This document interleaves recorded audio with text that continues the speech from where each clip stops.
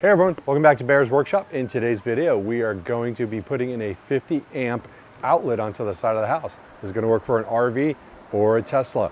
That's what we're putting in today, so stay tuned.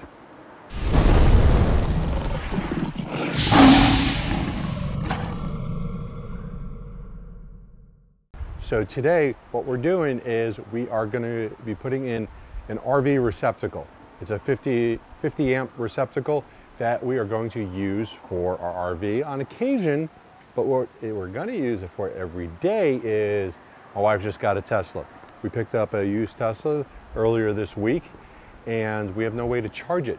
Uh, the cable that came with it, unfortunately the dealership, since it was used, they gave us an old cable, a 110 charger. So it charges at about five miles per hour at its fastest rate.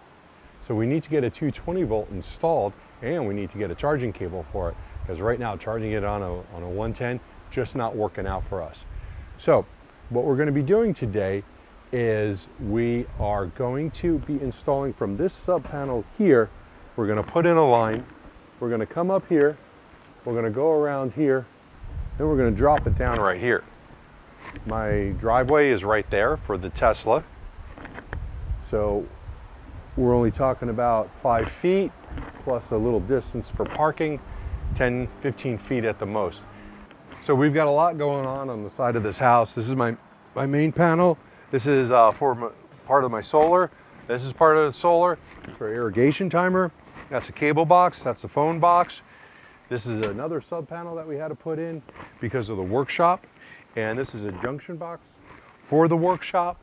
And then if you go further down there, you're gonna see more stuff for the solar panels. We've got two inverters on the side. We've got a cutoff for the, for the solar and we've got a solar meter and then another box down there. A lot of stuff on this wall. And now we're gonna add some more. So first thing, I've gotten all the parts that I needed. What we've got over here on the floor, this is our, this is our, our new outlet panel it's for the outside. Got this at Home Depot. Just gonna have a little box. It's gonna plug in, cable's gonna plug in right here. Gonna be able to close the cover. It's for the outside, it will work. So that's gonna go probably about right there. For wire, I needed about 25 feet. I've already measured this out. This is three strands right here. We've got, uh, we're putting in the 50 amp double breaker plus uh, one common. And we have one more line that's 25 feet. This is six gauge, by the way. That's it. You don't want to go, you don't want to go below six gauge. Otherwise you're, uh, you're going to break the circuit. You're going to heat up your wires. You're going to get lower voltage going through or amps, I should say. So you, you want to make sure you do the right thing. Our green wire, our, our ground, that is uh, eight gauge. You can go down one gauge when you're for your, for your ground wire. So what we're gonna do is start cutting pieces. We're gonna hook this up. We're gonna turn off the power to that sub panel, maybe, and we're gonna put our breaker in. Okay, so right under here is our one of our few holes that are knockouts. So we're gonna knock this out right here. We're gonna run the line. Actually, we're, no. We're gonna knock it out on this side. We're gonna have to stick the pipe right behind these two. And then we're gonna come up right here. So first we're going to knock it out. We're going to get our, uh, our pipe set up and we're going to go from there. We're going to put most of this in fast motion except where I'm showing you which wires are connecting to, to where. Now, disclaimer, I am not a licensed electrician. I have never been one and I, uh, I know what I'm doing just from doing it before and messing around and seeing how it's done, seeing other people do it, stuff like that. So if you're wanting to do this on your own, this is up to you. You can take my advice, but I'm not a electri licensed electrician and someone is bound to say I'm doing it wrong. And if they do, great. You know, a little feedback doesn't hurt. But remember that. I'm, I may not be following code. I'm trying to, but I may not be. So here we go. You can see right off the bat, um, just uh, making sure I got the right breaker and I'm starting to measure out for my lines. You notice that I do have white PVC pipe. There is no difference between white and gray PVC pipe except one is designated as electric because it's gray so that you can tell it's an electric line. This is what I'm told. The reason I didn't get gray was because Home Depot did not have anything in stock that was gray. So we went with the white because we're going to paint it anyway.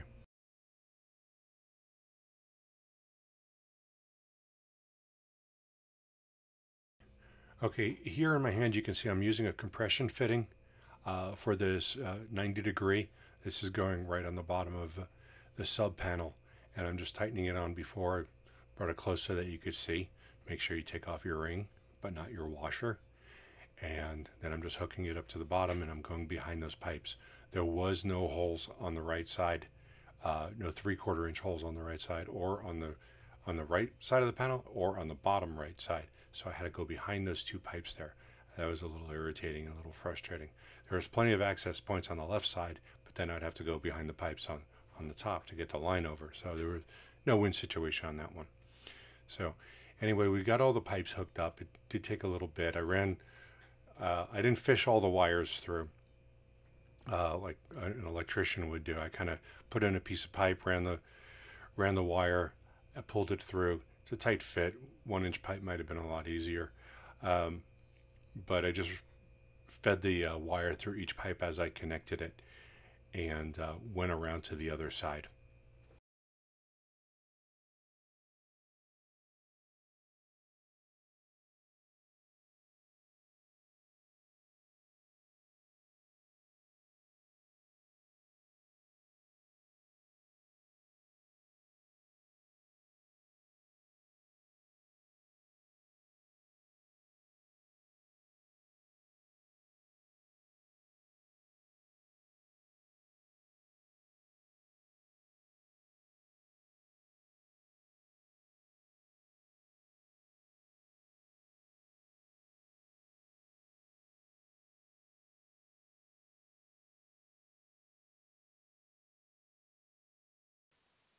So I've determined the height of my electrical box is going to be right there. In retrospect, I probably should have gone just a little bit higher because of that hose bib that's over there. Uh, but it is what it is. That's where I've got it set up. And it wouldn't really be that hard to shorten it up if I really needed to.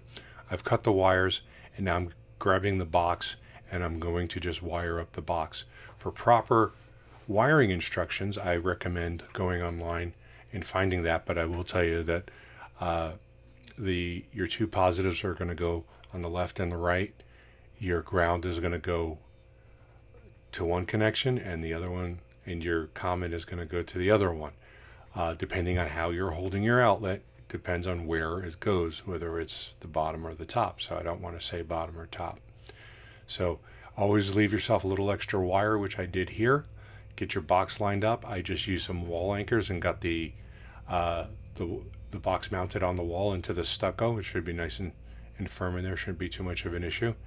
And then you're good to go with this. And put in your wires nice and snug. Make sure you follow all co codes as far as uh, eh, how you wire those in if you're going to be doing it yourself.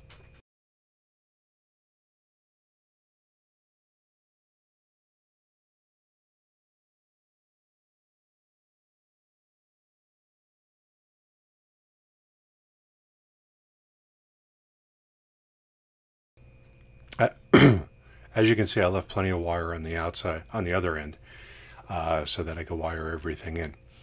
Um, make sure when you're messing with this that the breaker box is off. The breaker to this was off. I'm sure it was. Um, so you wire in your common where all the other white wires are. You just put them in. You got to keep in mind in the center of that screen, right next to the breakers on the right side, um, where those breakers are connected, there is a live, if you don't shut off your breaker, there is a, a live piece of metal. You don't want to touch that. You will fry yourself. You will pee yourself, maybe even worse.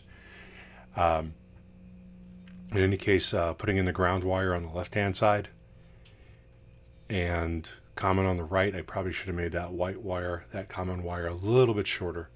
Uh, so now I'm getting my my black and my reds, and these are going just going right into the the breaker, or like so, and putting those in, tightening them up, And of course, I'm maybe not doing it the way an electrician would have done it, but I, I've put them in first and I'm going to snap in my breaker.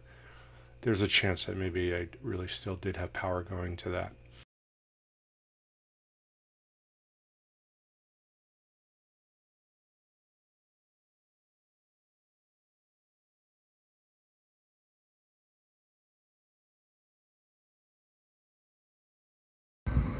Okay everyone, so we've gotten everything complete. Just want to do a quick overview of what we've got done here. We've connected box from this sub panel. Uh, we actually put in a 40 amp breaker. We're going to upgrade that to a 50. Uh, I thought a, I think I bought a 40 amp just because they didn't have a 50 amp available at the time. The charging cable we use only goes to 34 amps, so for now that's going to work out fine. So we went from the bottom on this side. You may have been wondering why I went from under here and then behind these pipes. There's no uh, there's no service holes here to pop out on this side at all and on this side. There's only ones on this side. So that's why we went behind the pipe. We came around. Our paint is a little bit off color. Uh, when I got my paint sample, I got it from the other side of the house and where the sun wasn't fading it. So this side of the house is more faded. But eventually we're just gonna paint the house, of course, and we'll match this up. We've got the PVC pipe, wires going through, three six gauge and one eight gauge down into the box. We put our wires in here. Everything is uh, all hooked up, everything's working. This is not a Tesla cable. Uh, this is a 34 amp cable that the dealership ended up buying for me. And we've got a hose reel so that when we're not using it, where you see it's connected to the car right now, we could just roll it right up, store it away, away from the water hose. I'm not all that thrilled about the water hose being right there, but um, it is what it is. Uh, inside the box, uh, we've got everything connected to, to the breaker. Uh, I'm not going to go too far into detail on how to do that because I don't want to be held liable for you getting electrocuted.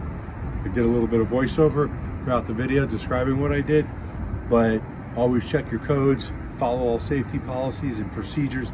Don't get yourself hurt putting this in. So that's it. Everything's working great. Uh, when we plug the car in now, it charges at 30 miles per hour. Very happy. We got the RV right behind you. If you just do a little twist, and from here, I can just go ahead and plug in the RV during the day. The car charges at night, scheduled to charge at night. So everything's working great. I didn't get electrocuted. Here I am, alive and well. So if you like this video, go ahead and hit that like button, hit the subscribe button so you can see more content in the future. We're probably going to be doing a couple more Tesla videos. I know we got one with accessories, little cheap stuff that we bought off Amazon. We're going to be making one of those in the next week or so. And who knows what else will come up with Tesla.